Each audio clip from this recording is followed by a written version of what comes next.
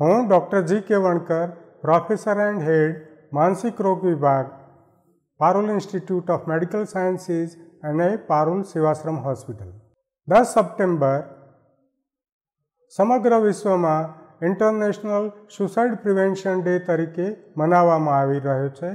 એનો મુખ્ય હેતુ આત્મહત્યા વિશે જનજાગૃતિ લાવવાનો અને આપઘાત અટકાવવાનો છે. આપણે આ સંસ્થાઓની અંદર પણ જીવનદીપ નામનો કાર્યક્રમ શરૂ કરી રહ્યા છીએ, જેનો મુખ્ય ઉદ્દેશ અગેન આત્મહત્યા વિશે જનજાગૃતિનો અને આપઘાત અટકાવવાનો છે.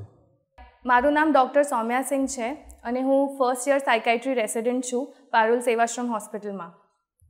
વિશ્વમાં દર ત્રણ સેકન્ડ એક વ્યક્તિ આપઘાત કોશિશ કરે છે અને દર ચાલીસ સેકન્ડ એક વ્યક્તિ આપઘાતથી મરણ પામે છે. વિશ્વ આરોગ્ય સંસ્થા મુજબ સાત લાખ લોકો દર વર્ષે આપઘાતથી મરણ પામે છે. વિશ્વમાં ભારતમાં બે હજાર એકવીસમાં એક લાખ બાસઠ હજાર લોકો આપઘાતથી મરણ પામા હતા.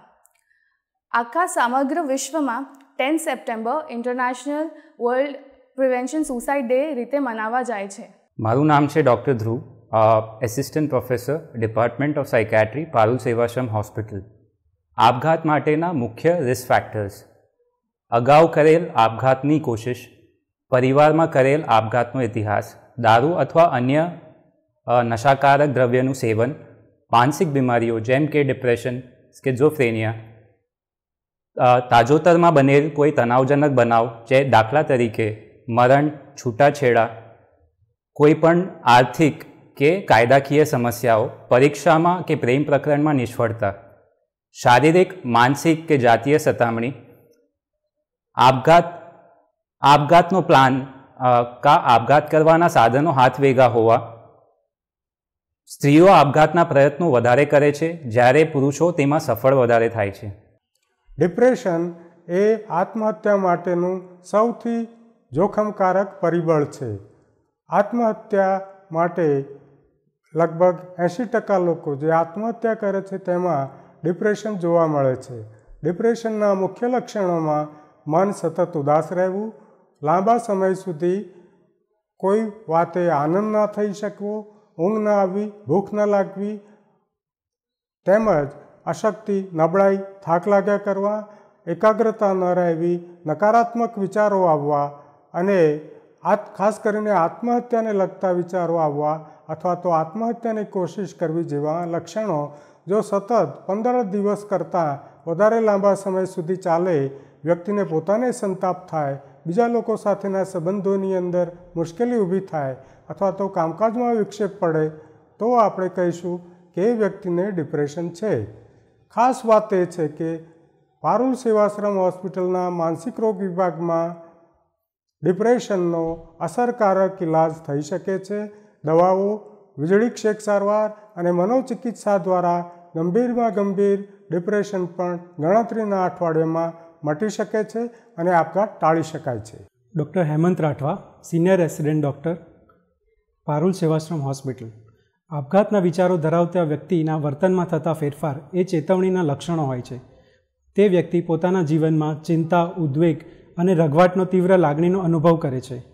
તેમને પોતાનું જીવન નિરાશાભર્યું, બોજરૂપ લાગે છે અને પોતે જીવનમાં આગળ કશું જ નહીં કરી શકે તેવી લાગણી અનુભવાય છે.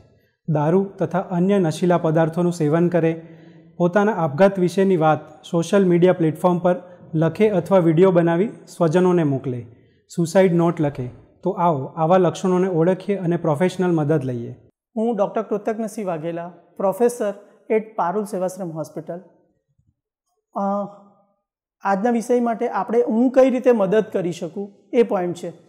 તમને લાગે કે વ્યક્તિ પરેશાન છે, તો તમે એની સાથે મેક્સિમમ સમયગાળો એની મદદ કરવાની કોશિશ કરો એની લાગણી સમજવાની કોશિશ કરો. આ પ્રોસેસ દરમિયાન તમને લાગે કે એ હતાશ થઈ ગયો છે. તો આપઘાત વિશેના લક્ષણો એકસો ને દસ ટકા પૂછો. આ લક્ષણો જણાય તો તમારે એની સાથે જ રહેવાનું છે. અને એ તમે જો સાથે ના રહી શકો, તો એના મિત્રો અથવા કોઈ પરિવારના સભ્યને આ એની લાગણીઓ સમ, કહીને એની મદદ લો.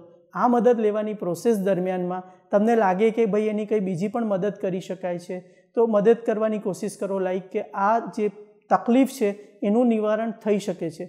અને તકલીફ સમજ્યા વિચાર્યા વગર મન મક્કમ કર ને એવા બધા શબ્દો ના બોલો રાઈટ અને તમને લાગે કે પરિસ્થિતિ કંટ્રોલમાં નથી આવતી, તો મનોચિકિત્સકની મદદ લેતા જરાય સંકોચાશો નહીં. મારું નામ ડૉક્ટર ધવલ પટેલ છે. હું પારુલ સેવાશ્રમ હોસ્પિટલમાં મનોચિકિત્સક તરીકે કામ કરું છું. હું આજે ચર્ચા કરવા માગું છું કે જો તમને આત્મહત્યાના વિચારો આવતા હોય તો શું કરશો? તમારા આ વિચારો તમને વિશ્વાસ હોય એવા મિત્ર અથવા કુટુંબીજનોને જણાવો. આત્મહત્યા સિવાયના અન્ય વિકલ્પો શું છે એ વિશે વિચારો. દારૂ તેમજ અન્ય નશીલા પદાર્થોથી દૂર રહો. હંમેશા યાદ રાખો, ડિપ્રેશન ઉદાસી તમારા વિચારોને નકારાત્મક બનાવી શકે છે. જરૂરી નથી કે તમે જે વિચારી રહ્યા છો, હકીકતમાં પરિસ્થિતિ એટલી ખરાબ હોય. જો આવા વિચારો વારંવાર અને સતત આવતા હોય, તો માનસિક રોગ વિશેષજ્ઞને મળીને તેમની સલાહ અને સારવાર મેળવો. મારું નામ ડૉક્ટર રોહન કોસંબિયા છે. હું અહીં પારુલ સેવાશ્રમ હોસ્પિટલમાં મનોચિકિત્સક, માનસિક રોગમાં પહેલો યર રેસિડન્ટ ડૉક્ટર છું. આપઘાત કરનારા વ્યક્તિઓને એવું લાગે છે તે લોકો નબળા પડી ગયા છે, તે લોકો એકલા પડી ગયા છે. એમને એવું લાગે છે કે એ લોકોની વાત સાંભળનાર કોઈ જ નથી. આપઘાત કરવું તે એક સામાજિક લાંછન બની ગયું છે.